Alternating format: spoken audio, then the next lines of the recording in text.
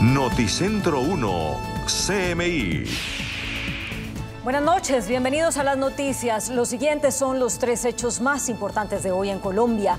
Un crudo informe sobre la realidad del país en este año le entregaron al Papa Francisco los obispos de Colombia. En audiencia privada con el sumo pontífice en el Vaticano, el presidente, el vicepresidente y el secretario del general de la conferencia episcopal informaron al Papa sobre la polarización política y el aumento de la violencia y de la pobreza. Ampliación de esta noticia en nuestra emisión nacional las 9 de la noche. En el Cauca fue asesinado un desmovilizado de las FARC, el firmante de paz Jorge Canchi Ramos, quien llevaba menos de un año en zona rural de El Tambo, Cauca, fue asesinado. Sus verdugos lo acusan de participar en actos extorsivos. Se encontraba administrando una finca en la vereda de Playa Rica, donde fue encontrado su cuerpo con un impacto de arma de fuego. Es el segundo firmante de paz asesinado en menos de una semana en Cauca y el número 57 desde la firma de los acuerdos. Ampliación de esta noticia en nuestra emisión nacional a las 9 de la noche. Naciones Unidas reiteró su preocupación por el asesinato de defensores de derechos humanos en Colombia. Desde Ginebra, la ONU llamó la atención especialmente sobre los asesinatos de defensores indígenas del Cauca y le pidió al gobierno mayores esfuerzos para investigar y prevenir esos ataques. Ampliaremos esta noticia en nuestra emisión nacional a las 9 de la noche. Las siguientes son las noticias más importantes del mundo hoy.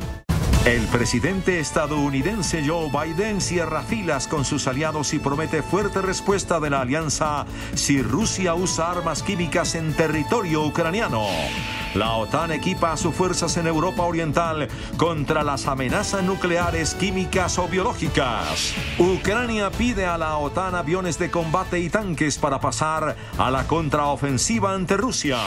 Estados Unidos impuso sanciones a legisladores rusos y al sector de defensa. El G7 acordó prohibir transacciones en oro con el Banco Central ruso y acceso a préstamos internacionales. Estados Unidos anunció mil millones de dólares en ayuda para Ucrania y recibirá hasta 100 mil refugiados ucranianos. La OTAN estima que el número de soldados rusos muertos durante el primer mes de guerra en Ucrania superaría las 15 mil bajas. Ucrania asegura haber hundido un buque de guerra ruso en el Mar Negro. La subvariante BA.2 impulsa los contagios de coronavirus en el mundo. La justicia británica dictamina que el rey emérito Juan Carlos I no tiene inmunidad y podrá ser juzgado por acoso. Con Claudia Palacios y Margarita Ortega.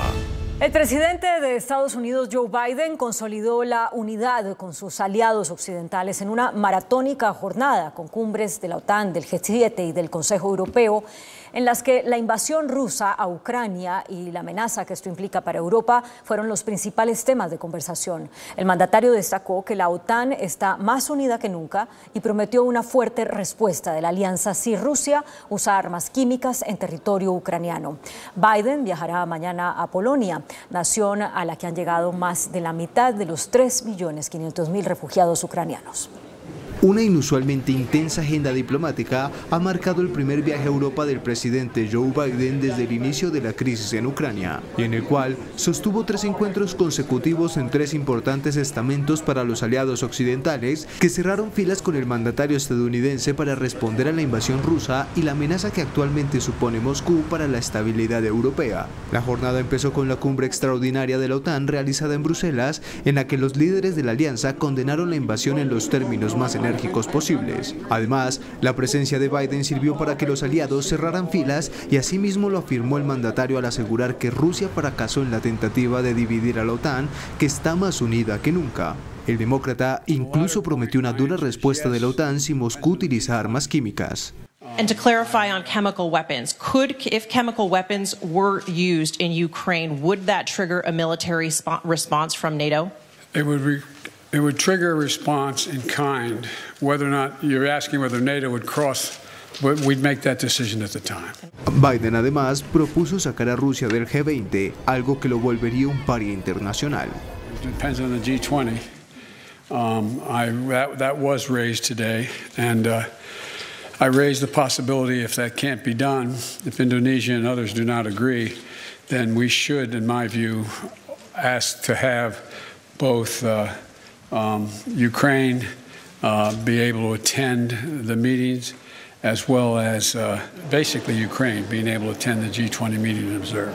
El presidente estadounidense también se reunió con sus homólogos del G7, donde se anunciaron nuevas sanciones contra Rusia, y se reunió con los líderes de la Unión Europea, quienes se garantizaron absoluta cooperación. Ours is the view the single most important thing that we have to do in the West is be united. I'm not saying that that's not a euphemism. I mean it literally, literally. Our unity is rock solid, and uh, we are very, very pleased to coordinate, to cooperate with you. These are difficult times, challenging times, and we need to take the right and the intelligent decisions for the future, uh, for the security, for the stability, and, and thank you for this excellent cooperation and coordination. La intensa agenda diplomática de Biden seguirá mañana con una visita a Polonia, vecina de Ucrania que ha recibido más de la mitad de los refugiados de la guerra y ahora está en la primera línea de lo que algunos llaman la nueva Guerra Fría. Justamente la OTAN mandó a activar sus defensas en Europa contra ataques con armas químicas, biológicas y nucleares. El secretario general de la OTAN, Jens Stoltenberg, equipará a sus fuerzas de combate desplegadas en el flanco oriental con protección contra amenazas químicas, biológicas y hasta nucleares. Allies agreed to supply equipment uh, to help Ukraine protect against uh, chemical, biological, radiological, and nuclear threats. Uh, this could include um, uh, detection uh, equipment, protection and medical support, as well as training for decontamination and crisis management. We are also enhancing allies' preparedness and readiness for chemical and biological and nuclear threats. Stoltenberg advirtió de que Moscú prepara un pretexto para emplear este tipo de armas y advirtió al Kremlin de que si da ese paso cambiará totalmente la naturaleza del conflicto y tendrá grandes consecuencias. So we are concerned, uh, partly because we see the rhetoric uh, and we see that Russia is uh, trying to create some kind of pretext accusing Ukraine, United States, NATO allies for preparing uh, to use chemical and biological uh, weapons. And we have seen before that this uh, uh, way of accusing others is actually a way to create, to create a pretext for do the same themselves. Uh, and, and, of course, the accusations against Ukraine and NATO allies are absolutely false. Los líderes también acordaron desplegar cuatro nuevos grupos de batalla que generalmente suman entre 1.000 y 1.500 soldados en Eslovaquia, Hungría, Rumania y Bulgaria. También los líderes hicieron un llamado a China para que defienda el orden internacional y los principios de soberanía e integridad territorial y que se abstenga de apoyar el esfuerzo bélico de Rusia de cualquier manera en Ucrania y de ayudar a Moscú a eludir las sanciones. Y el mandatario de Ucrania, por su parte, Volodymyr Zelensky, manifestó que llevan un mes esperando que Occidente conteste sus llamados de donación o de venta de aviones caza y de tanques. Además, volvió a pedir a la OTAN ayuda militar sin restricciones. El presidente ucraniano Volodymyr Zelensky pidió a los miembros de la OTAN ayuda militar sin restricciones para que su país pueda enfrentarse al ejército ruso que ahora Kiev combate en condiciones desiguales. Україна не має потужної протиракетної зброї, має значно меншу авіацію, ніж Росія, тому їхня перевага у небі це застосування зброї масового знищення. І ви бачите наслідки сьогодні, скільки людей вбито, скільки мирних міст зруйновано. Українська армія протистоїть вже місяць у нерівних умовах, і я вже місяць повторюю одне те й саме. Щоб рятувати людей і наші міста, Україні потрібна військова допомога без обмежень. El mandatario reiteró sus pedidos de aviones de caza y tanques, sobre todo para desbloquear ciudades en el sur de Ucrania, sitiadas o ocupadas por el ejército ruso. Zelensky también acusó a Rusia de utilizar bombas de fósforo en sus ataques en territorio ucraniano. Estados Unidos anunció nuevas sanciones contra la Cámara Baja del Parlamento ruso y contra más de 400 figuras y empresas cercanas al presidente Vladimir Putin, entre ellos 328 legisladores y 48 empresas de defensa rusa. Estados Unidos anunció nuevas sanciones financieras contra políticos, oligarcas y la industria de defensa de Rusia como represalia a la invasión de Ucrania. Estas medidas que implican congelar los bienes en Estados Unidos conciernen a 328 diputados de la Cámara Baja del Parlamento, así como a la propia institución y 48 grandes empresas públicas del sector de la defensa, según un comunicado de la Casa Blanca. Según el texto, los miembros de la Duma rusa han apoyado los esfuerzos del Kremlin por violar la soberanía y la integridad territorial de Ucrania, incluso con declaraciones que reconocen la independencia autoproclamada de las zonas del este de Ucrania controladas por milicias prorrusas como Donetsk y Lugansk. El Departamento del Tesoro estadounidense informó que dentro de las empresas están compañías fabricantes de helicópteros, misiles, munición, equipos militares y drones, como la compañía Kronstadt, que pierde su acceso al sistema financiero estadounidense. Y el gobierno británico anunció una nueva serie de sanciones contra 59 personas y compañías rusas como consecuencia de la invasión a Ucrania. Entre las corporaciones sancionadas se encuentra el grupo Wagner, que ha sido catalogado como el ejército personal del presidente Putin. También la hijastra oculta del canciller ruso Sergei Lavrov. Reino Unido ha impuesto un fuerte abanico de sanciones contra Rusia que ya supera los mil individuos y unas 70 empresas, además de los aranceles punitivos a productos como el vodka y prohibición de exportar bienes de lujo. Y en su más reciente arremetida, el gobierno británico anunció una nueva serie de sanciones contra 59 personas y corporaciones rusas debido a la invasión en Ucrania. Entre las empresas están el gigante ruso de los diamantes Alrosa y la organización privada de servicios militares Wagner, un grupo de mercenarios que han sido considerados como el ejército personal de Vladimir Putin y a quienes se les habría ordenado el asesinato del presidente Volodymyr Zelensky. Pero entre las personas castigadas también hay una persona que pesa particularmente en el corazón del actual canciller ruso Sergei Lavrov. Esta vez las sanciones alcanzaron a su glamorosa hijastra oculta en Londres, Polina Kovaleva, esto según una investigación hecha por el equipo periodístico de Alexei Navalny, que sacó a la luz datos sobre la lujosa vida que ella y su madre en la capital británica. El G7 se reunió hoy para hablar justamente de la crisis en Ucrania y decidió imponer más sanciones como restringir las ventas de oro y reducir su dependencia energética. Ya son 30 días desde que Rusia lanzó la guerra contra Ucrania el pasado 24 de febrero y la fecha ha estado marcada por una maratónica jornada sin precedentes de tres cumbres en Bruselas en torno al conflicto. Mientras las tropas rusas mantienen un fuerte asedio en distintos puntos del país, Occidente intenta mostrar unidad diplomática, económica y militar ante el conflicto y tratan de cerrar filas frente a Moscú, con las reuniones de la OTAN, la Unión Europea y el G7. Los líderes de este último, conformado por Alemania, Canadá, Estados Unidos, Francia, Italia, Japón y Reino Unido, añaden más presión sobre el gobierno ruso, por lo que emitieron un comunicado donde se comprometieron a trabajar juntos para recortar la capacidad de Rusia de financiar la guerra de Putin. Subrayamos nuestra determinación de imponer severas consecuencias a Rusia, incluso mediante la implementación total de las medidas económicas y financieras que ya imponemos. Continuaremos cooperando estrechamente, incluso involucrando a otros gobiernos en la adopción de medidas restrictivas similares a las ya impuestas por los miembros del G7 y en abstenernos de la evasión, elusión y relleno que buscan socavar o mitigar los efectos de nuestras sanciones. Anunciaron además una nueva batería de sanciones como mitigar la capacidad del Banco Central de Rusia, dejando en claro que cualquier transacción y uso de reservas que incluso involucren oro serán impedidas para que no financien la guerra. Estados Unidos además sancionó la Duma rusa y a importantes oligarcas. We're also announcing new sanctions of more than 400 individuals and entities aligned with in alignment with the European Union. More than 300 members of the Duma oligarchs and Russian defense companies that fuel the Russian war machine. Las sanciones podrían debilitar aún más el rublo moneda rusa y contraer la economía hasta un 15% o más. Estados Unidos anunció que dará mil millones de dólares más en ayuda para Ucrania y que recibirá hasta 100 mil refugiados de ese país.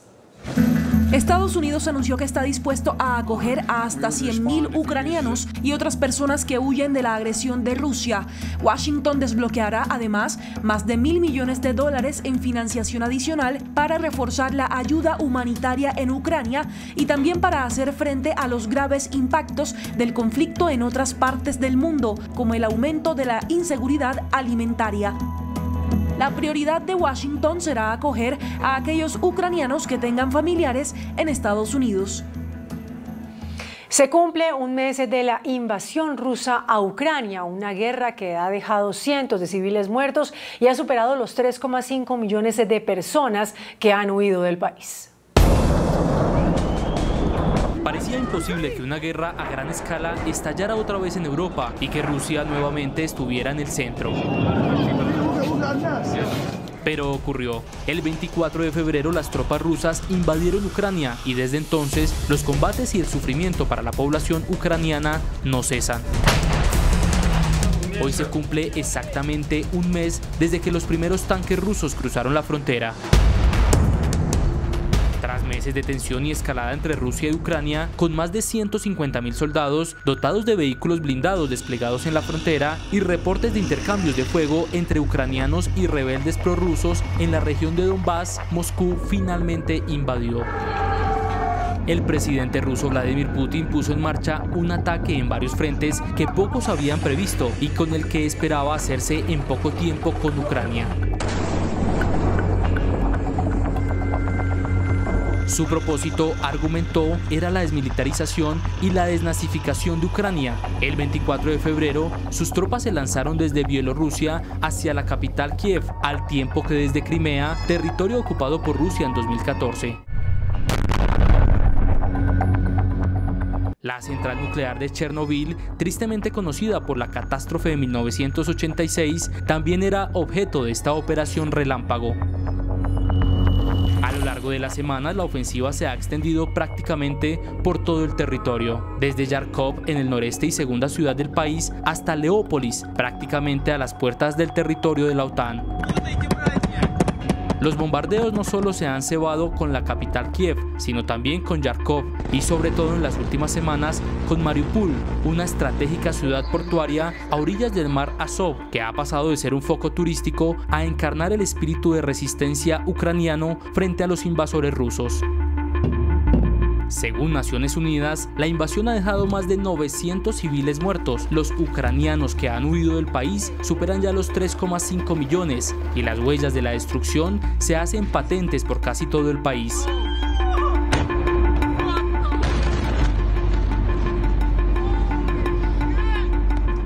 La invasión ha alterado el mercado energético y los precios, que ya habían experimentado una importante subida en numerosos países tras la pandemia, se han disparado con niveles de inflación que no se veían en décadas, al tiempo que las propias sanciones a Rusia amenazan por perjudicar a quienes las han impuesto. La OTAN dijo que durante el primer mes de guerra en Ucrania habría habido entre 7.000 y 15.000 bajas rusas. La Alianza Atlántica estimó que el número de soldados que habrían muerto durante el primer mes de guerra en Ucrania sería mucho más elevado que los datos reportados por el Kremlin. La resistencia ucraniana ralentizó los planes de una invasión rápida y efectiva en el país vecino, cuyo costo también tiene consecuencias en el terreno.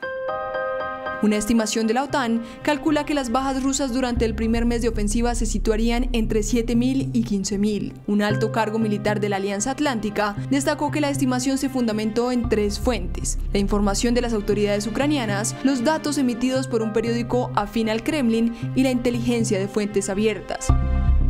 Cabe resaltar que el último reporte del Kremlin sobre la cifra de soldados caídos en la contienda se hizo público el 2 de marzo, donde el Ejecutivo ruso hablaba de 498 bajas.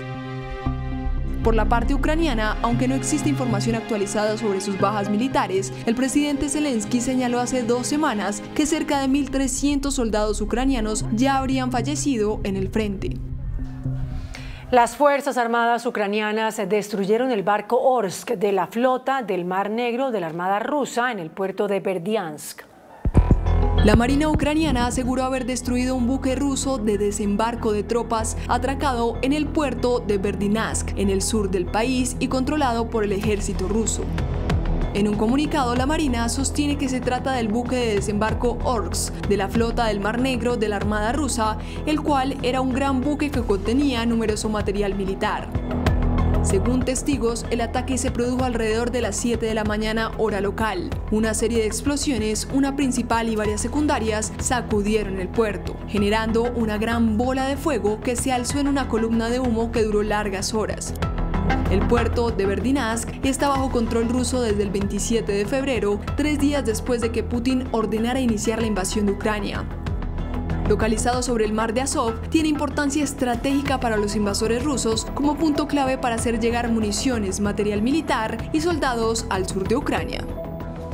Y aunque el gobierno de Ucrania asegura que las tropas rusas han retrocedido, los bombardeos no cesan y siguen causando muertes de civiles. Un mes de muerte, éxodo masivo y destrucción se cumple en Ucrania. Sin embargo, el ejército ucraniano y las fuerzas voluntarias resisten, lo que ha prolongado la ofensiva más allá de lo esperado por el Kremlin. Un nuevo bombardeo ruso en la ciudad ucraniana de Kharkov, en el noreste del país, dejó hoy al menos a seis civiles muertos y otros 15 heridos. El bombardeo realizado con armas de largo alcance alcanzó una oficina de correos en cuyas inmediaciones los residentes locales recibían ayuda humanitaria. Desde el inicio de la invasión, la ciudad ha sido blanco de bombardeos rusos que han destruido cerca de un millar de edificios, la mayoría inmuebles residenciales.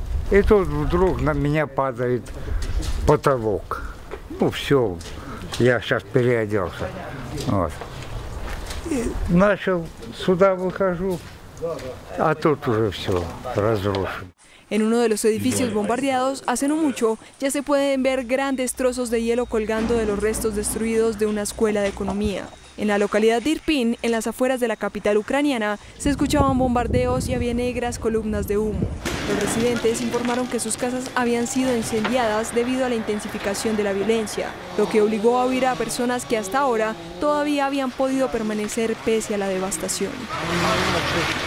Los proyectiles también incendiaron un depósito cerca de un edificio residencial en el oeste de la capital, donde los civiles habían buscado refugio detrás de un supermercado.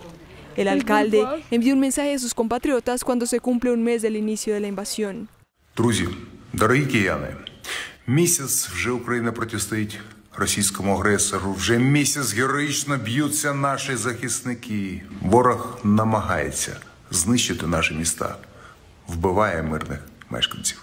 Aseguró que a pesar de que la mayoría de mujeres y niños tuvieron que abandonar el lugar y convertirse en refugiados, casi todo Irpin está bajo control de los soldados ucranianos después de haber podido repeler las tropas rusas. Ya son millones de desplazados por el conflicto y la mitad de los menores de toda Ucrania se encuentran como refugiados. La ONU aprobó una resolución que pide el fin de la invasión de Rusia a Ucrania con el cese inmediato de las hostilidades y el fin de los ataques contra civiles que en menos de un mes provocó el desplazamiento de 10 millones de personas. Rusia volvió a quedar aislada en la Asamblea General de la ONU, donde pese a sus intentos para evitar la aprobación de una resolución que pide el cese inmediato de las hostilidades rusas en Ucrania y el fin de los ataques contra civiles, esta recibió su luz verde. Además, es la segunda solicitud de este tipo del organismo en menos de un mes y fue aprobada por una abrumadora mayoría de 140 votos a favor, 5 en contra y 38 abstenciones. La comunidad internacional respaldó esta nueva resolución presentada por Ucrania y promovida por México y Francia sobre las consecuencias humanitarias de la agresión rusa que en menos de un mes provocó el desplazamiento de 10 millones de personas. No sin antes de un choque protagonizado entre los representantes de Moscú y Kiev en el organismo.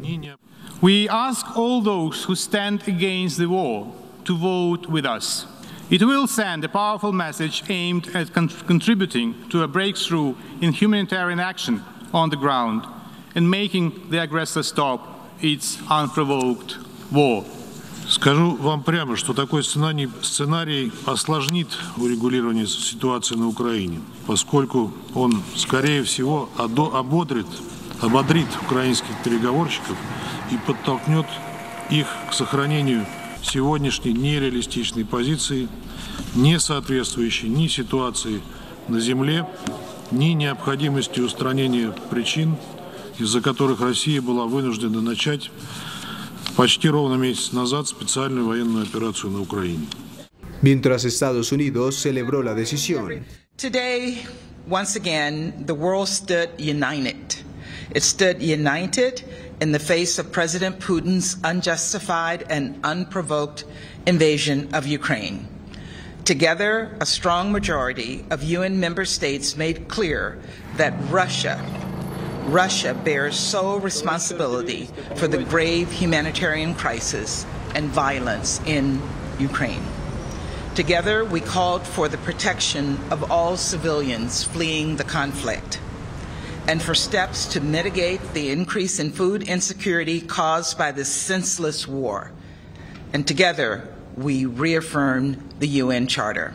La resolución también condena todas las violaciones del derecho internacional humanitario cometidas por Rusia, que recibió su segunda derrota diplomática consecutiva en la ONU. En otras noticias del mundo, el planeta vive un rebrote de casos de Omicron, pero ahora es B.A2, que es la subvariante de esa cepa, la dominante en la mayor parte del mundo, situación que preocupa a los expertos que piden se mantenga el protocolos de bioseguridad. Hasta hoy los contagios a nivel mundial son más de 476,6 millones y las muertes superaron los 6,1 millones. A nivel mundial, sigue siendo Estados Unidos la nación más afectada con 81,5 millones de infecciones, le siguen India, Brasil, Francia y Reino Unido. Y en cuanto a muertes, la nación norteamericana también lidera el listado con más de 975.692. En segundo lugar está Brasil, tercero India, cuarto Rusia y quinto México.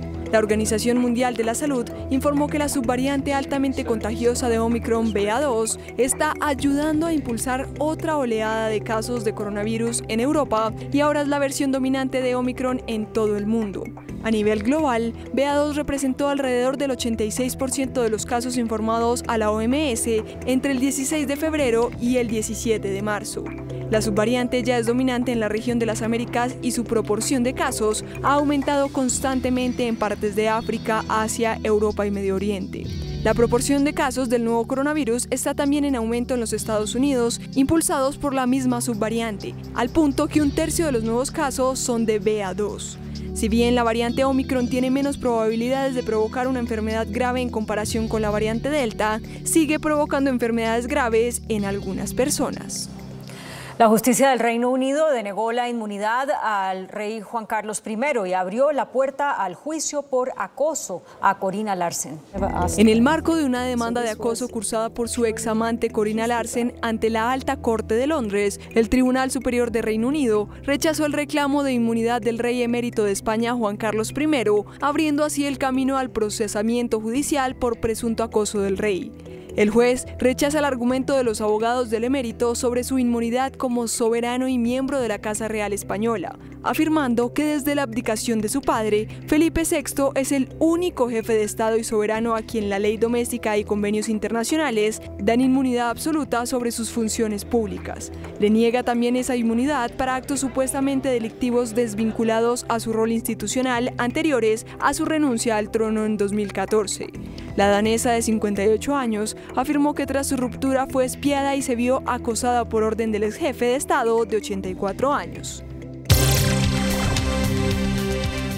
Hola, ¿qué tal? Muy buenas noches. Por fin, la selección Colombia volvió a celebrar un gol, a ganar a golear y de alguna manera también a gustar después de derrotar sin atenuantes 3 por 0 a una muy débil, muy frágil selección de Bolivia que no tuvo un solo remate al arco de David Ospina, quien fue hoy uno de los grandes espectadores del partido. Hora de conectarnos con Barranquilla, nuestro invitado de siempre en la eliminatoria, el mundialista Carlos Valdés. Carlos, esta noche creo que si hay sonrisa, pero la pregunta es, ¿nos alcanzará para pelear el repechaje, que es lo único que nos queda, Carlos, en la última jornada frente a Venezuela? ¿Qué tal? Bienvenido y como siempre, mil gracias por estar con nosotros.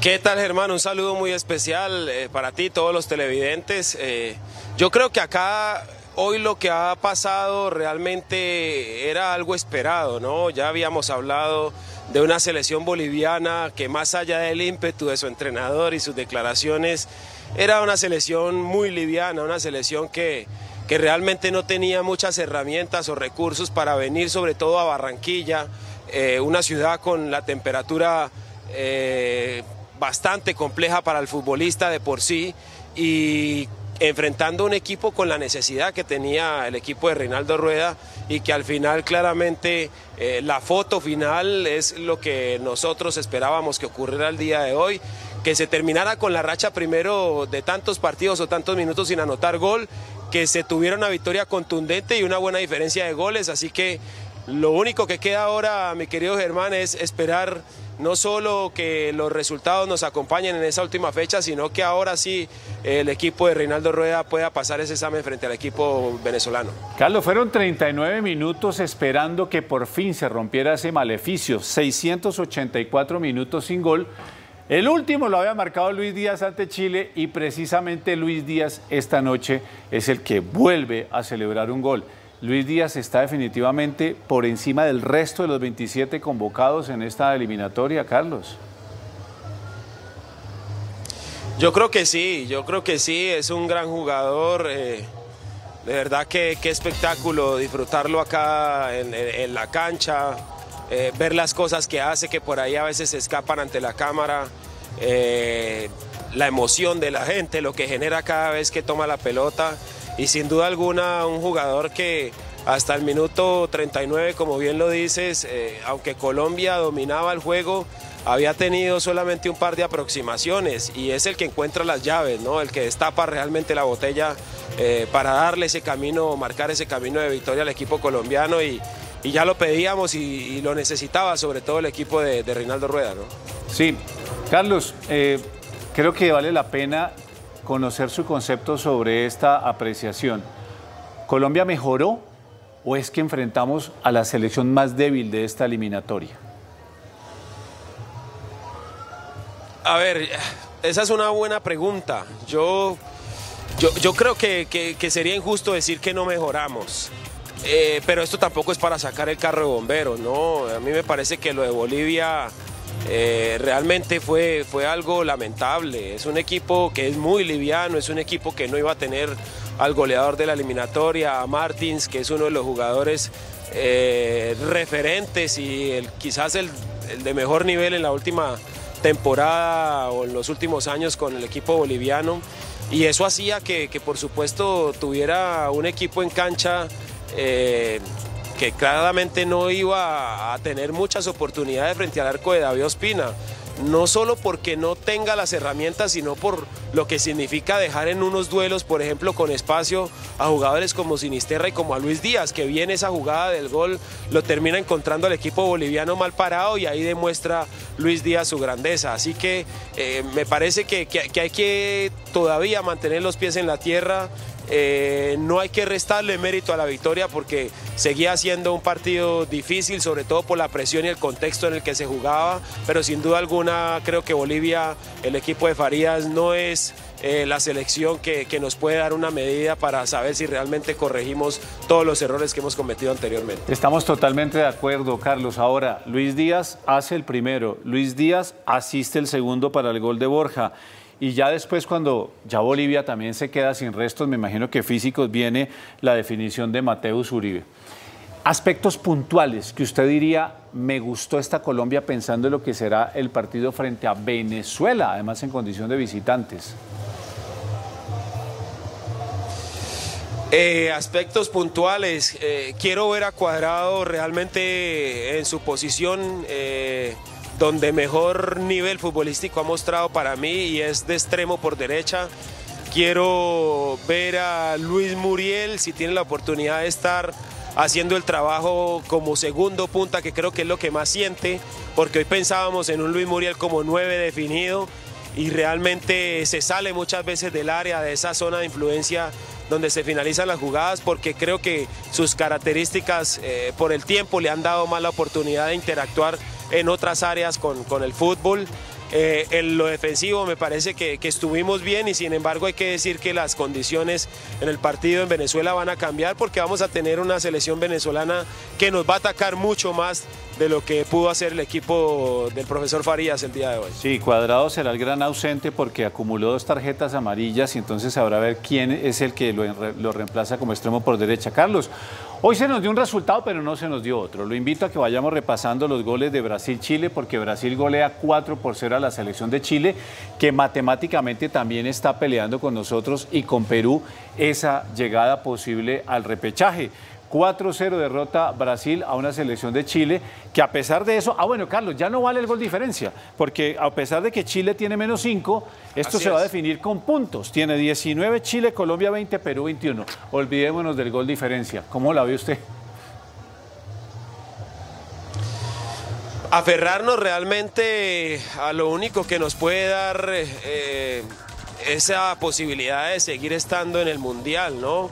Y es eh, preocuparnos en primera mano por ganar nuestro partido frente a Venezuela y de ahí en adelante en que Paraguay le pueda complicar la vida al equipo de Gareca visitándolo en Perú. Eh, me parece que, que esa es eh, no solo por lógica, sino porque el fútbol tiene tantas cosas que, que aún tiene a Chile con posibilidades y que para mí lo esencial en este momento es que Colombia hoy pueda alejarse en lo posible, al menos desde el entorno de los jugadores, de lo que van a hacer ese juego de resultados en esa última fecha y sí concentrarse en lo que realmente puede controlar el equipo colombiano, que es su funcionamiento, su estructura, la manera como vamos a defender frente a Venezuela y cómo vamos a contrarrestar esos ataques para aprovechar los espacios que nos permitan encontrar ese camino a la victoria. De esa Venezuela, Carlos, conoceremos únicamente cómo juega este Peckerman mañana cuando precisamente en la bombonera a la selección de Argentina. Los goles de Brasil, Neymar, Vinicius Junior,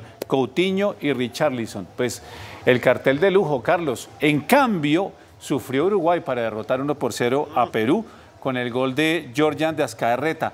¿Le hubiera gustado a usted un empate Uruguay-Perú o definitivamente que Uruguay ya se haya clasificado y nos deje a Perú, a Colombia y a Chile en, esa, en ese orden con las opciones de pelear el repechaje? No, yo, yo, creo que el empate era el mejor resultado porque nos daba una doble posibilidad, ¿no? Dos resultados en el partido que iba a ser Chile recibiendo Uruguay, ambos con posibilidad de clasificarse, eh, y claramente el de Perú contra, contra Paraguay. Pero también en el fondo yo tuve la oportunidad de jugar en Uruguay, de conocer su cultura.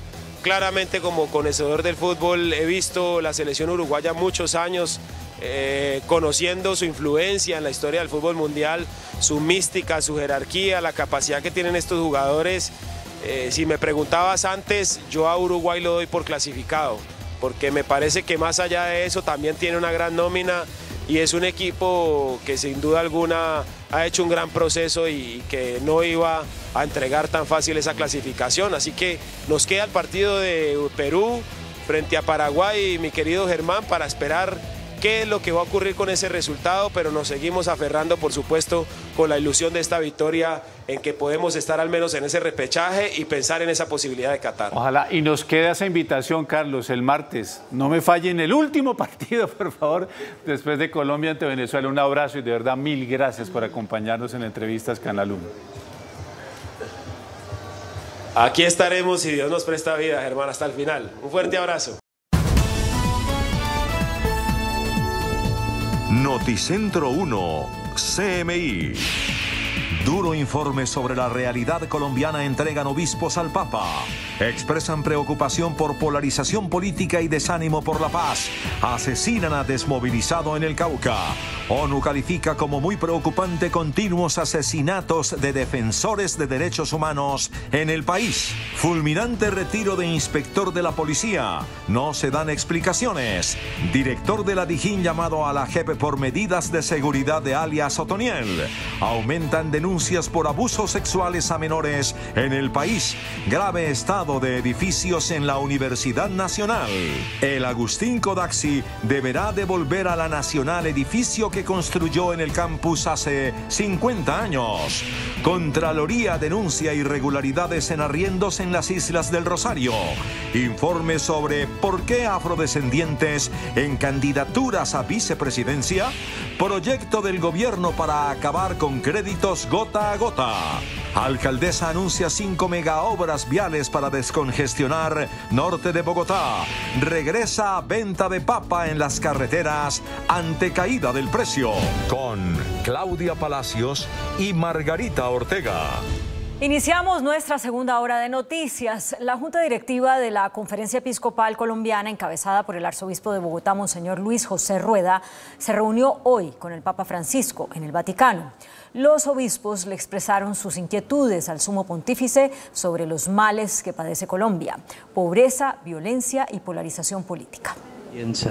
La reunión de los tres obispos colombianos con el Papa Francisco duró 40 minutos, audiencia privada. Allí, los jerarcas de la Iglesia Católica Colombiana le contaron al sumo pontífice sobre lo que ellos denominaron los dolores de Colombia. Tenemos mm, cerca de 7 millones de personas en, en pobreza absoluta, 21 millones de personas según nuestras últimas estadísticas que pasan hambre. Esa pobreza ya no guarda silencio y en ese sentido eh, todas las manifestaciones que hemos tenido en paros, en protestas, eh, finalmente son la expresión de un dolor que está en la estructura del país. Es una mm, violencia esta del hambre y de la pobreza estructural. También le compartimos al Santo Padre nuestra preocupación porque mm, la apuesta de paz en el país se ha ido a la sombra, ha bajado el marco de interés nacional, nos hemos resignado al conflicto. Y dijeron que la polarización en Colombia en estas elecciones 2022 sigue latente también expresaron su preocupación por la falta de vocación para conseguir sacerdotes en nuestro país. Y él nos ha dicho de una manera muy clara, muy serena, hay que seguir motivando las vocaciones sacerdotales y religiosas, pero hay que también incluir a todo el pueblo santo de Dios en el servicio de la iglesia. Los obispos, Monseñor Luis José Rueda, Omar Alberto Sánchez y Luis Manuel Alí expresaron que el Papa tiene profundo conocimiento sobre todo lo que acontece en Colombia en el Tambo, Cauca, fue asesinado un desmovilizado de las FARC y ex firmante de los acuerdos de paz. El firmante de paz Jorge Chanchi Ramos, quien llevaba menos de un año en zona rural del Tambo, Cauca, fue asesinado. Sus verdugos lo acusan de participar en actos extorsivos. Se encontraba administrando una finca en la vereda de Playa Rica donde fue encontrado el cuerpo el día de ayer sobre el cual dejaron un letrero quien lo había asesinado. El cuerpo, dejado al filo de la carretera en el sector del 20 de julio, presentaba impactos de arma de fuego. Son asesinatos sistemáticos que se vienen presentando en el departamento y a nivel nacional. Es el segundo firmante de paz asesinado en menos de una semana en Cauca y el número 57 desde la firma de los acuerdos. Naciones Unidas reiteró su preocupación por el asesinato de defensores de derechos humanos en Colombia. Desde Ginebra, la ONU llamó la atención especialmente sobre los asesinatos de defensores indígenas del Cauca y le pidió al gobierno mayores esfuerzos para investigar y prevenir esos ataques. Sorpresivo relevo en la cúpula de la Policía Nacional. El general Carlos Ernesto Rodríguez, quien se desempeñaba como inspector general, presentó su solicitud de retiro voluntario de la institución. El gobierno aceptó de forma inmediata la solicitud de retiro de la policía del mayor general Carlos Ernesto Rodríguez. El oficial se desempeñó durante el último año como inspector general, uno de los cargos más importantes de la policía. Tenía dentro de sus funciones las sanciones disciplinarias, entre ellas las de los policías que fueron denunciados por abuso de autoridad y exceso de la fuerza durante el paro de 2021. En su reemplazo fue designado el general Ramiro Castrillón Lara, quien se venía desempeñando como director de tránsito y transporte de la policía. A su vez, el general Fabián Laurens Cárdenas, actual director del Gaula, fue designado como nuevo jefe de desarrollo humano de la policía. La Justicia Especial para la Paz llamó a responder al general Fernando Murillo, director de la Dijín, por las medidas de seguridad de alias Otoniel, que según los magistrados han dificultado sus declaraciones. La JEP empezó un trámite legal que podría terminar con una sanción al oficial de la policía responsable de la custodia de alias Otoniel, máximo jefe del clan del Golfo, detenido en Bogotá mientras se aprueba su extradición a Estados Unidos. Abrir incidente de desacato contra el director de investigación criminal de la policía, general Fernando Murillo. Según la JEP, las medidas de seguridad ordenadas por el general Fernando Murillo han dificultado las declaraciones que el narcotraficante está entregando a los magistrados sobre su participación en acciones violentas durante más de 30 años. Lo acompañan dentro de la audiencia de forma permanente cuatro custodios de las Fuerzas Especiales de la Dijín con armas largas. Los descargos del general Murillo serán el 31 de La directora del Bienestar Familiar, Elina Arbeláez, aseguró que van en aumento las denuncias por abusos sexuales contra menores de edad. Según el Instituto Nacional de Bienestar Familiar, la violencia sexual en contra de los menores de edad ha venido en alarmante aumento desde el año 2020 y este fenómeno también se ha visto reflejado en las instituciones educativas del país, en donde hay una especial preocupación tras las denuncias por parte de padres y alumnos. evidentemente, en los colegios Gracias a, los a las denuncias que hubo a principio de año, se ha venido generando un efecto bola de nieve donde hemos podido conocer más casos que se han presentado y que claramente son inaceptables. Frente a esta situación, la ministra de Educación se refirió al respecto. Estamos en el trabajo de que todos los colegios incorporen el protocolo. Ese es el primer paso. Vamos a tener un primer reporte a los dos meses de cada secretaría sobre los casos. Bogotá y Medellín son los lugares en donde se ha conocido el mayor número de denuncias contra los abusos a menores de edad. La Universidad Nacional hizo hoy un llamado al gobierno y a la comunidad para obtener recursos por más de 300 mil millones de pesos con el fin de invertirlos en salvar más de 60 edificaciones del, del campus universitario en Bogotá que deben ser reforzados y además para evitar su deterioro o la eventual ruina, como ya le está ocurriendo al Instituto de Ciencias Naturales, donde se conservan muestras de todas las especies de flora y fauna del país. En la ciudad universitaria, donde funciona la Universidad Nacional Sede Bogotá, hay 112 edificaciones, algunas de ellas construidas a finales de los años 30 del siglo pasado, otras de hace 50 años, otras más recientes, como la Facultad de Ciencias o la Facultad de Tecnologías que donó el empresario Luis Carlos Sarmiento Angulo, o la Escuela de Enfermería, o la remodelada Escuela de Artes, que son un modelo de arquitectura, pero más de la mitad de esas edificaciones necesitan hoy urgente recuperación. Son cerca de 62 edificios que en este momento eh, necesitamos recuperar, poner al día, eh, actualizar en sus redes, eh, hacerles un cambio integral de la cubierta, mejorar las condiciones de habitabilidad. La universidad requiere de más de 300 mil millones de pesos, dice su vicerrector José Ismael Peña. Estamos hablando básicamente de unos 300 mil millones de pesos que no tenemos que, en y no tenemos eh, los ingresos previstos a corto plazo. Pero la situación más dramática es la del Instituto de Ciencias Naturales, donde están las recolecciones de la expedición botánica que hizo José Celestino Mutis a finales del siglo XVIII y donde se conservan todas las especies de flora y fauna de Colombia. Es un estado lamentable en el sentido de que ya colapsó completamente la estructura del edificio y sale mucho más barato y la Universidad Nacional ya tomó la decisión de que sale más barato derrumbar este edificio y construir uno nuevo. Esta edificación contiene elementos valiosos para la ciencia, la cultura y la historia del país. Colombia tiene registradas 3.840 especies de mariposas. Aquí están guardadas las 3.840 especies de mariposas, las 1.900 especies de aves que hay en Colombia, que somos el país más rico de aves en Colombia, están guardadas aquí en la colección del Instituto de Ciencias Naturales. Mañana viernes habrá una reunión crucial para definir el aporte que promete el Ministerio de Ambiente para salvar el archivo de la biodiversidad colombiana que está a punto de quedar aplastado por esta vieja edificación.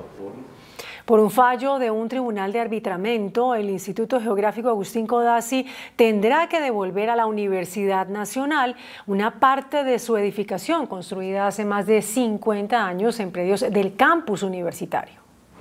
En 1971 la Universidad Nacional cedió al Instituto Geográfico Agustín Codazzi un terreno donde se construyó el Centro Interamericano de Fotointerpretación. Medio siglo después, la institución educativa pidió la devolución del predio.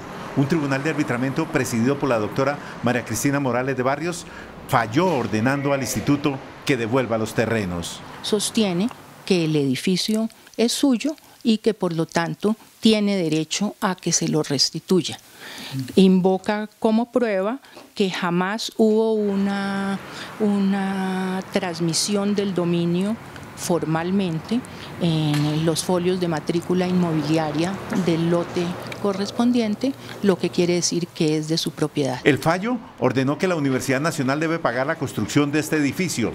La secretaria general del Agustín Codazzi, María Luisa Prado Mosquera, reveló que ya hay un acuerdo económico para la devolución. Efectivamente, ya se hizo un avalúo, el IGAC es evaluador por ley, ¿sí? Eh, se hizo un avalúo de aproximadamente 6.373 millones de pesos y esa es la suma que se va a pagar por parte de la, unidad, la Universidad Nacional. La zona ya está siendo cercada y muy pronto comenzará a funcionar allí una parte de la Facultad de Derecho de la Universidad Nacional. A 9 mil millones de pesos ascienden las irregularidades en los contratos de arrendamiento de las islas del Rosario de Cartagena y el archipiélago de San Bernardo, según denunció la Contraloría General. De los 128 contratos de arrendamiento en los baldíos de las Islas del Rosario, 68 están vencidos, 31 presentan mora superior a 90 días y 9 no pagan desde hace más de 5 años. Hemos encontrado hallazgos por más de 9 mil millones porque la gente no paga, no le cobran, aparecen todavía personas muertas con, con islas eh, como si estuvieran usándolas. Según la Contraloría, producto de sus advertencias, ya se están renegociando los contratos. Tampoco nos parece razonable que una persona que tiene una casa de recreo, que paga, eh, pague un arriendo pues básicamente parecido a quien tiene un hotel o un pasadía que tiene recursos mucho más altos. En las islas del Rosario hay cánones de arriendo de hasta 900 mil pesos. Carlos Matos irá a juicio por los sobornos del caso Hyundai. La Fiscalía cerró la puerta a una negociación con el empresario. La Fiscalía desistió de llevar a cabo cualquier negociación con el empresario Carlos Matos dentro de los procesos judiciales que se le siguen por los presuntos sobornos entregados para beneficiar a Hyundai Colombia en una tutela. La Fiscalía le cerró las puertas a esta negociación, argumentando que Matos mintió en sus declaraciones contra el periodista Gonzalo Guillén sobre supuestos pagos para desprestigiar a la Fiscalía y porque además se insinuó que las personas que participaron de la elaboración de este preacuerdo habrían recibido dineros por parte de Matos. El juez avaló la petición de la Fiscalía y ahora Carlos Matos será llevado a juicio. El proceso deberá acelerarse, pues en octubre prescribe uno de los procesos en contra del empresario. La Fiscalía investiga a 10 funcionarios del IMPEC por la fuga del cabecilla del clan del Golfo, Larrinson Castro, alias Matamba. Noticentro 1 CMI conoció que la Fiscalía General de la Nación ya tiene identificados e individualizados a 10 funcionarios del IMPEC que habrían participado de la fuga de alias Matamba el narco del Clan del Golfo que escapó de la cárcel La Picota de Bogotá el pasado viernes. La Fiscalía ya reunió las pruebas en contra de estas 10 personas, entre quienes se encuentran los dragoneantes que dejaron esa noche sus puestos de control, así como el conductor del vehículo del IMPEC en el que salió Matamba. De acuerdo con la Fiscalía, alias Matamba habría pagado entre 4 y 5 millones de dólares a los guardias del IMPEC que colaboraron en su fuga. Por estos hechos, un funcionario de esa institución ya fue enviado a la cárcel. Varios exministros de Justicia consideran que no es viable liquidar el IMPEC, pero ponen otras alternativas para combatir la corrupción en el sistema penitenciario. La fuga de alias Matamba y los paseos del detenido empresario Carlos Matos provocaron que el presidente Iván Duque anunciara una reforma para el IMPEC. El exministro Yesid Reyes propone la construcción de cárceles modernas. Sería muy importante que las cárceles tuvieran sistemas de vigilancia con ayudas electrónicas porque son los que permiten mantener separados a los guardianes de los presos y esa separación física disminuye las posibilidades de corrupción. En contraste, el exministro Jorge Londoño advierte que hay que mejorar el recurso humano, depurar a los dragoneantes del IMPEC. Si ellos descubren los ilícitos que allá se cometen y sancionan ejemplarmente a los eh, que cometen esos delitos, pues seguramente que va a haber una depuración obvia en el proceso de participación en esos ilícitos. Terminar con las instituciones no es la solución. El gobierno invitará a los sindicatos del IMPEC para construir la reforma del sistema penitenciario. Con el fin de dar mayor transparencia en la gestión, garantías de seguridad de las personas privadas de la libertad y lograr más eficiencia en los procesos de resocialización. En las últimas 24 horas, Colombia reportó un leve aumento en los contagios y muertes por COVID-19. Suben los contagios y suben las muertes por COVID-19 en Colombia. Este jueves el Ministerio de Salud confirmó que 351 personas se infectaron de COVID-19. Se procesaron 24.122 pruebas en los laboratorios del país. Casos activos suben a 5.090. Las muertes reportadas en las últimas 24 horas, otras 23. El total de fallecidos en medio de la pandemia, 139.531 víctimas. Estas son las cifras de los últimos cuatro días, el comportamiento de la pandemia. El lunes, 508 contagios 19 fallecidos.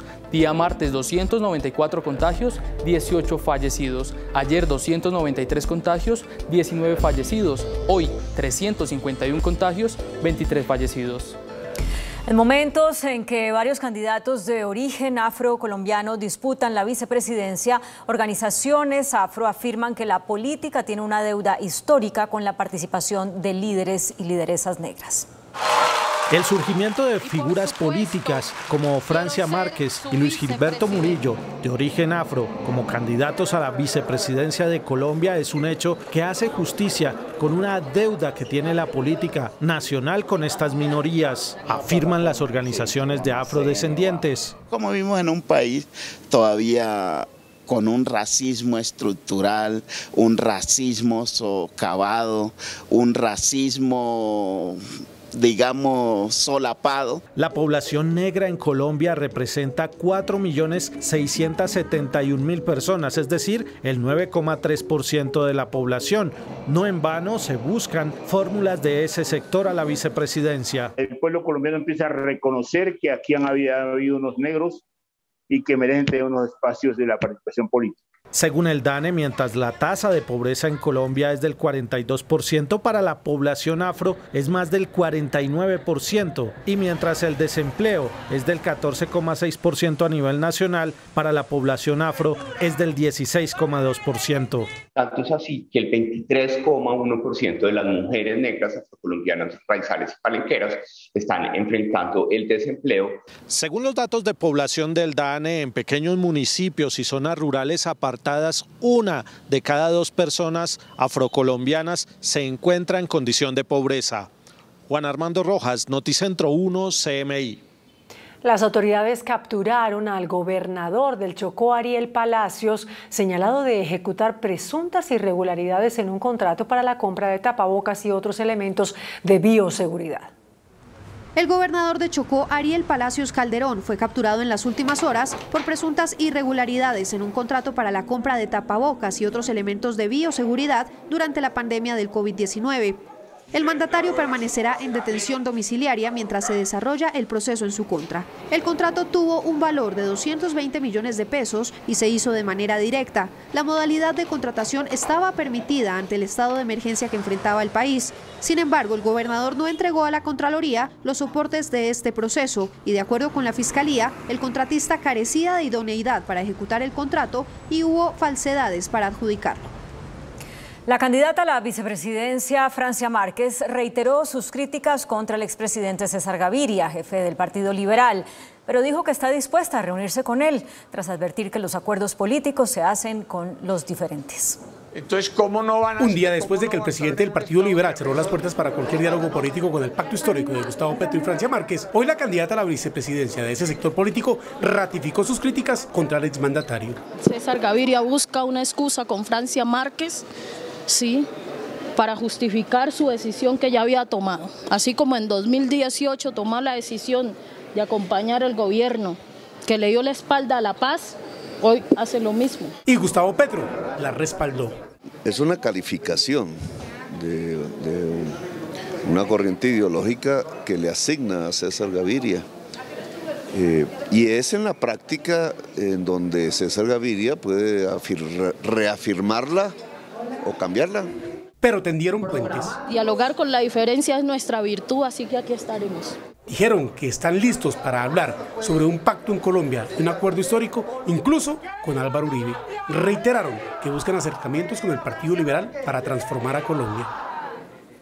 Congresistas del Partido Liberal respaldaron la posición del expresidente César Gaviria, jefe único de esa colectividad, al exigirle respeto a la candidata a la vicepresidencia Francia Márquez. A propósito de la respaldo restricto a la posición del jefe del Partido Liberal, César Gaviria Trujillo, expresidente de la República, expresaron senadores y representantes de esa colectividad debido a los ataques que le ha hecho Francia Márquez, candidata a la vicepresidencia de Gustavo Petro. Desde el Partido Liberal rechazamos todas las campañas de odio, de agresiones, de ofensas, provengan de donde provengan.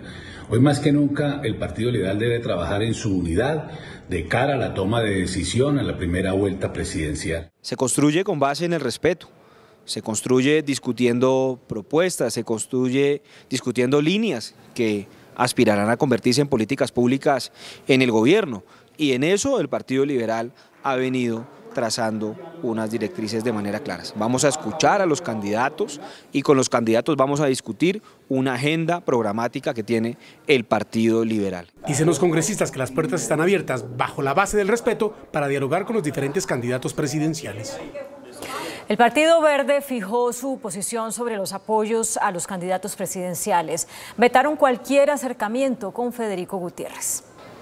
Dejar en libertad no es decidir por cualquier candidato de cara a la elección presidencial para los integrantes de la Alianza Verde. La colectividad definió por quiénes pueden elegir entre Rodolfo Hernández, em, Sergio Fajardo y Gustavo Petro para primera vuelta y nuevamente cerrar filas en segunda vuelta. El único veto que hizo el partido Alianza Verde es en torno a la candidatura de Fico Gutiérrez, porque claramente Federico no representa de ninguna manera los principios y los valores de la Alianza Verde. Por su parte, la senadora Angélica Lozano del Partido Verde insiste en que Fajardo debe atraer otros sectores a su campaña. Por eso le hace coqueteos al candidato Rodolfo Hernández se ven con frecuencia, ellos se tienen respeto y aprecio mutuo. Usted no va a encontrar una descalificación del uno al otro. Y lo que queremos es que conversen, un cafecito, esto no está definido. Las universidades entregaron seis mandamientos para que sean tenidos en cuenta por los candidatos presidenciales en sus propuestas. Cambios en la educación, la justicia y la cultura hacen parte de esas propuestas. Fue entregado este jueves el informe final de Tenemos que hablar Colombia a los candidatos presidenciales por parte de seis universidades del país. Más de 5.000 personas discutieron sobre las problemáticas que tiene Colombia en la actualidad. La necesidad de construir confianza en lo público. Lo que encontramos en la medición de confianza que adelantamos es que desconfían profundamente actores políticos y actores institucionales y que hay una necesidad fundamental de abordar eso.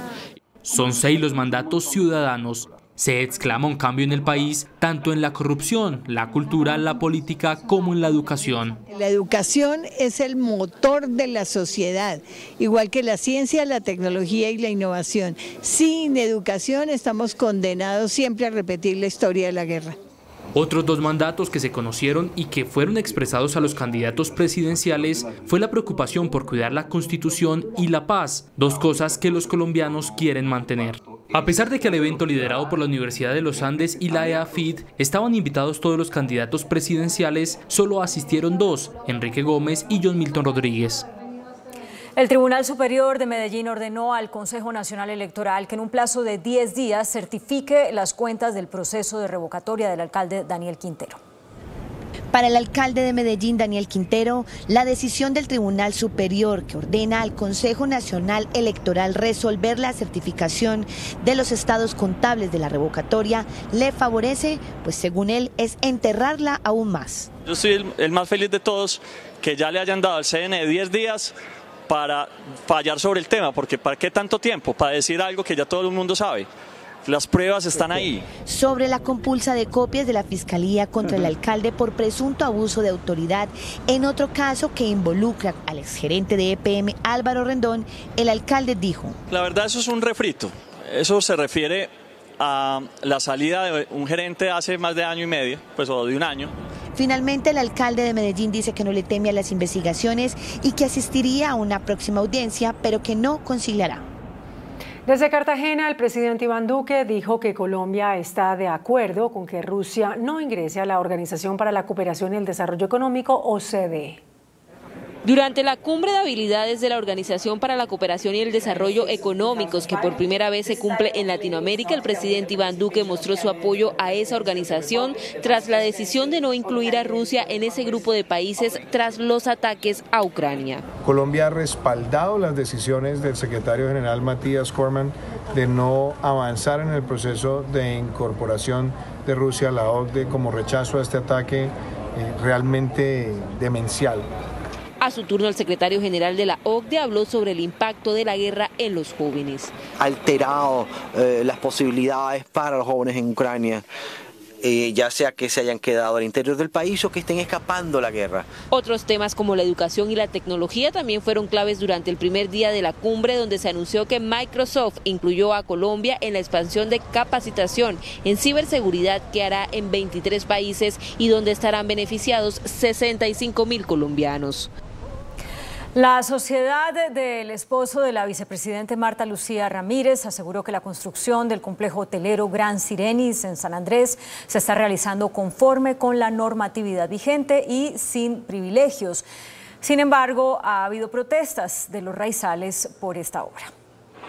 La empresa Hitos Urbanos de propiedad de Álvaro Rincón, esposo de la vicepresidenta Marta Lucía Ramírez, hizo sociedad con algunos inversionistas para construir el complejo hotelero Gran Sirenis. Según denuncias que han hecho funcionarios de la alcaldía de la isla, el complejo no cumple con la norma de altura y además se apropió de una playa pública. Los raizales sanandresanos creen que el complejo se está construyendo sin atender normas legales. Se violó el plan de ordenamiento territorial, se violó la normatividad urbanística, y aquí se, se, pasó por encima de todo eso. En Bogotá, el gerente de hitos urbanos, Juan Camilo Ochoa, en un comunicado que expidió para desmentir las denuncias, aseguró que la propiedad cuenta con una cadena ininterrumpida de tradición desde 1966. La declaración de la empresa del esposo de la vicepresidenta Marta Lucía Ramírez dice que resaltan la transparencia de su actuar y el apego riguroso a la normativa en esta obra. El gobierno nacional radicó un proyecto de ley con mensaje de urgencia con el que pretende acabar con los préstamos gota a gota. En cabeza del Ministerio de Hacienda se radicó con mensaje de urgencia el proyecto de ley que busca acabar con el préstamo gota a gota. La iniciativa facilita el acceso al sistema financiero para las pequeñas empresas y micronegocios. Se propone un esquema de respaldo en garantías y profundización en los mecanismos de financiamiento nuevos mecanismos de garantía, con subsidios a dichas garantías, con facilidades de acceso al financiamiento para que todos los colombianos tengamos la posibilidad de acceder a fuentes de financiación, para desarrollar nuestro emprendimiento, nuestro negocio. ACOPI sostiene que las microempresas tienen capital y ventas que pueden respaldar los pagos de créditos. Es poder garantizarla con el inventario, garantizarla con la orden de compra, garantizarla con la mercancía en tránsito. Eso es la forma en que se puede movilizar la economía y apoyar el crecimiento de las microempresas. Las pymes señalan que la iniciativa del gobierno debe ir de la mano con el sector financiero. En Bogotá, la alcaldesa Claudia López anunció un plan de obras para descongestionar el norte de la ciudad. Serán cinco años de trabajos y más de cuatro billones de pesos invertidos. Con cinco mega obras, Bogotá busca descongestionar la zona norte de la ciudad. El ambicioso plan vial incluye la ampliación de la carrera séptima, de la autopista norte, de la avenida Boyacá, de la avenida Subacota y de la carrera novena. Pues el que quiere marrones aguanta tirones, ¿cierto? Van a ser cinco años complejos, cinco años de paciencia, cinco años de movilidad compartida, la financiación de estas obras está garantizada. Se usaron recursos propios y de los peajes de ingreso a Bogotá. La inversión supera los 4 billones de pesos. Yo espero que no haya ni saboteo, ni mezquindad política. De nuestra parte seguirá habiendo trabajo conjunto. Además, la alcaldesa le pedirá al gobierno entrante financiar el Regiotram del Norte que conectará los municipios de La Sabana con la capital. Tras casi seis meses de permanecer en el Parque Nacional, finalmente se logró la caracterización de los pueblos indígenas que acampan en Minga, en el Centro Internacional de Bogotá. El primer censo reveló que son en total 536 familias que tienen 1.585 personas. Son seis meses de aguantar frío, lluvias y dormir a la intemperie. Al final, como dice la frase, divide y reinarás. Hoy, esta es una realidad en este campamento que a primera vista parece igual. Así como ellos exigen sus derechos, nosotros también como los pueblos que hacemos parte de, autoridades indígenas en Bacatá también exigen nuestros derechos, porque solamente ellos no son indígenas, nosotros también somos indígenas. Hoy por hoy se logró que todas las entidades y las comunidades estuvieran de acuerdo para hacer un censo de la población que acampa en el parque. Al final, se determinó que son 536 familias que representan 1.585 personas. Nosotros queremos hoy, pueblo Catío, cuando termine la pichegatización necesitamos reubicación, mientras para organizar la retorno a resguardo. Hoy los Embera, Catío y Dóvida, los Nasa, los Guayú y cada pueblo indígena tiene su propio espacio. Se rompieron las cobijas y aunque resisten unidos adentro, el rompimiento es evidente. Regresó la venta de papa a las carreteras ante el difícil panorama que enfrentan los productores del tubérculo. Agricultores de papa decidieron salir nuevamente a las vías del departamento de Cundinamarca a vender sus cosechas ante la crítica situación que viven a causa de los altos costos de fertilizantes y el bajo precio que les pagan intermediarios por el tubérculo. Digamos, el abono, las fumicidas, eso está muy caro, entonces por eso es que ahorita la papita está un, poco, un poquito carita. A la intemperie ofrecen la papa a menor precio del que se consigue en la central mayorista de Corabastos. Aquí nosotros sí la damos un poquito más barata. Si digamos en Bogotá está a 100, supongamos está a 150 el bulto, aquí se puede dar a 130, 135 el bulto. Conductores han decidido apoyar a los campesinos que no la han pasado nada bien desde el inicio de la pandemia. El ministro de Hacienda, José Manuel Restrepo, afirmó que se buscan mecanismos para financiar el fondo que evite mayores alzas en los precios de los combustibles. La recomendación del Comité Autónomo de la Regla Fiscal es implementar un plan de financiamiento al Fondo de Estabilización de Precios de Combustibles que sirve para minimizar y evitar mayores alzas en las tarifas de la gasolina y el ACPM. Dicho fondo tiene un déficit de 7 billones de pesos. Los mayores ingresos por los precios del petróleo serán fundamentales, aunque el gobierno es claro en señalar que su efecto será en 2023. Se estudian opciones y mecanismos. Tienen que ser recursos que permitan la contribución a la estabilización de los precios de combustibles, pero también tienen que contribuir a la reactivación y al crecimiento de la economía en ese año. El pronunciamiento fue hecho durante el Congreso de Asofiduciarias. El Grupo Argo se presenta históricos resultados financieros. Aumentaron en 17% sus ingresos frente al 2020. Durante la Asamblea General que se realizó en Medellín, se informó que la compañía alcanzó ingresos por 16,3 billones de pesos, lo que representa un aumento del 17%. Se aprobaron dividendos con un incremento del 31% y se pagará 500 pesos por acción. La utilidad neta del Grupo Argos fue de 336.204 millones en 2021. El presidente de la NIF, Mauricio Santamaría, estimó una inflación de 6,5% para este año. El contexto internacional sigue presionando al alza la inflación en Colombia. Al cierre de 2021 cerró en 5,62% y mes a mes ha venido escalando desde enero en 6,94% a febrero en 8,01%. En marzo se estima 8,45%. Desafortunadamente es un impuesto muy muy duro para, para, para las poblaciones de menores ingresos. De hecho hoy las poblaciones de menores ingresos tienen una inflación cercana al 10% cuando la promedio está en 8%, eh, es decir, las poblaciones de menores ingresos están sufriendo un, un golpe muy duro. La tendencia podría corregir para el segundo semestre del año, pero terminaría en 6,5% muy por encima del rango meta del Banco de la República. El índice de capitalización de la bolsa que mide el comportamiento de las 20 principales acciones cerró al alza. El índice selectivo MSCI Colcap de la Bolsa de Valores de Colombia subió 0,38% a 1.593 puntos. La acción del grupo Argos fue la que más subió con una valorización de 3,20% a 13.530 pesos. La acción de Celsia fue la que más bajó con una pérdida de 0,39% a 4.378 pesos. La acción más negociada de la jornada fue la de Ecopetrol al movilizar más de 47 mil millones de pesos con una variación positiva de 0,14% a 3.535 pesos. Y el dólar cerró al alza. Indicadores económicos en Noticentro 1 CMI. La tasa representativa del mercado que regirá para mañana viernes será de 3.798 pesos con 90 centavos. Los profesionales del cambio compran la divisa en promedio entre 1.820 pesos y la venden entre 1.870 pesos. Un euro cuesta 4.165 pesos. La libra de café en Nueva York se cotizó a 2 dólares con 21 centavos. El azúcar se transó en 19,23 centavos de dólar la libra. El barril de petróleo WTI se cotizó en 111 dólares con 19 centavos. La referencia Brent para Colombia se cotizó en 118 dólares con 17 centavos. Una acción de Copetrol cuesta 3.535 pesos.